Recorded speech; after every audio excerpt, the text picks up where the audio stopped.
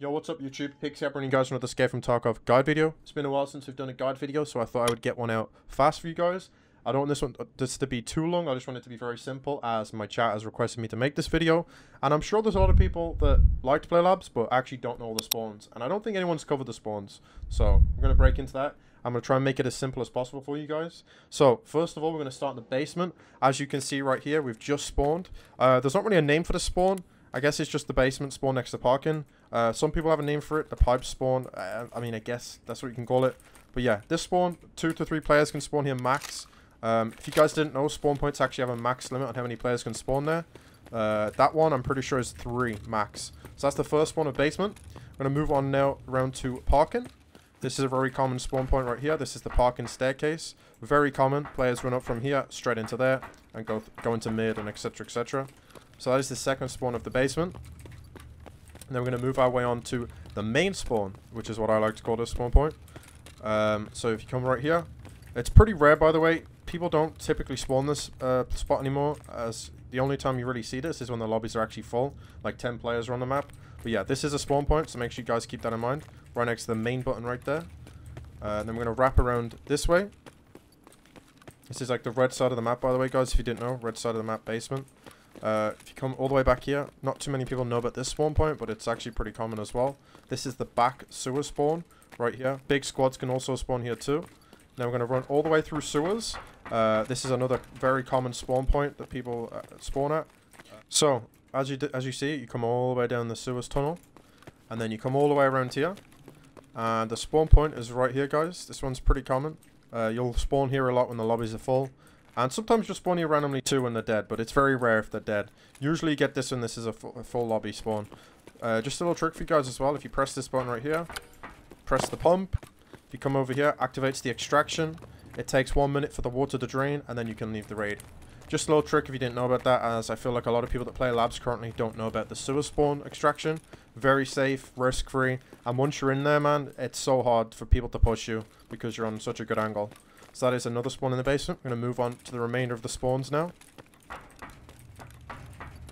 Now we're moving on to the chat spawn, which is what a lot of people like to call it. Personally, I call this on the manager spawn point, as managers is right above us. Uh, player spawn right here, right there, right here, all along this area. This is where people spawn. Make sure you keep your uh, eye on that. Just a little trick as well for you guys. If you come into Boiler, you can actually hear if someone's pressed sewers from across the map. As you can hear this big like fan turbine thing spinning, this is an indication that someone's pressed the button. You can also press O as well if you can uh, if you want to see it visually, but it's a good audio cue for you to pay attention to when playing the map. Uh, you can also hear this inside Black Room as well, guys, just so you know.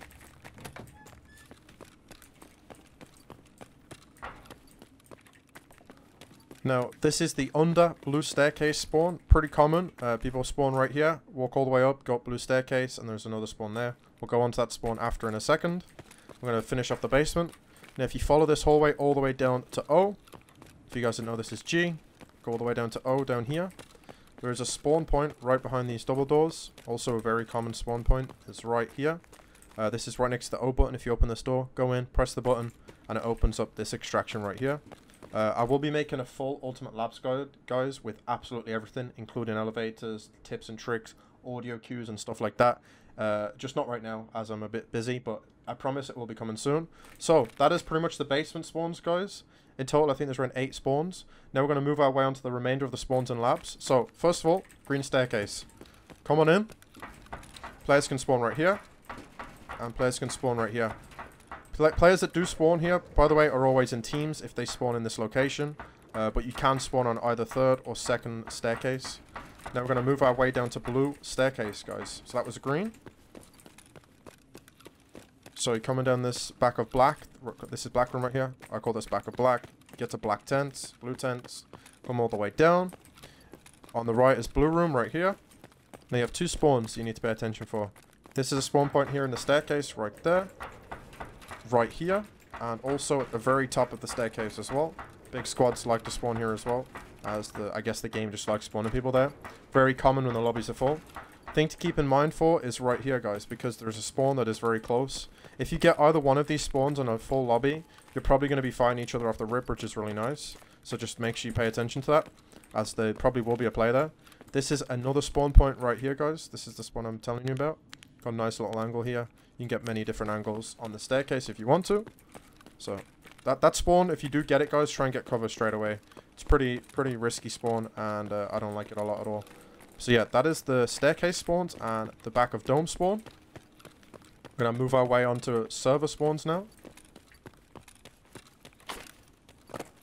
So, as we progress through server, we come on in like so. All the way around here.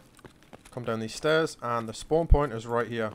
Uh, obviously, if you're pushing for PvP, it's good to know about this. Um, if you're coming from like Chad spawn, for example, people typically like to run straight from here, come down, and then kill people that spawn here. Uh, obviously, you can go into server, or you can go through hangar. Uh, this case, we're going to go through hangar, and I'm going to show you the spawn closest to this.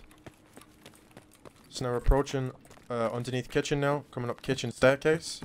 Uh, right here is a kitchen spawn, very common as well. Uh, we call this kitchen because it's right next to it, as you can see. And then if you wrap all the way around here, guys, there's another spawn back here too, which is very, very common. You're going to see a lot of five-man squad spawn here on labs, a lot of them. So if you're into PvP, make sure you push this straight away, as this is the spawn point here, guys. Now we're going to wrap ourselves through bridge. All the way along here. And as you come down this staircase next to Red Room, there is a spawn point right here in front of the elevators. Uh, this spawn used to be kind of rare, but it happens quite often now, so make sure you keep that in mind. If you do spawn here, be wary of parking, and be wary of Red Room. Try and get yourself in this office area here, underneath Red, and then play play however the way you want to play the game.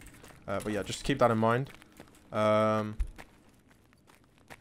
and yeah, that is pretty much it, guys. That is the Labs player spawn guide. I hope this video was helpful to you. To you, if it was helpful to you, if you could like, comment, subscribe, and turn on notifications, that would be amazing. Obviously, the important ones are liking, commenting, and subscribing. You don't have to turn notifications on if you don't want to. But like I said, if it helped you, there'll be more guides coming soon. And I also post raid content too, where I do like viewer kits, meme stuff, and just you know, just general talk of things like that. So yeah, guys, hope you guys have an amazing evening. Thank you so much for watching, and thank you so much for all the support. I appreciate you guys.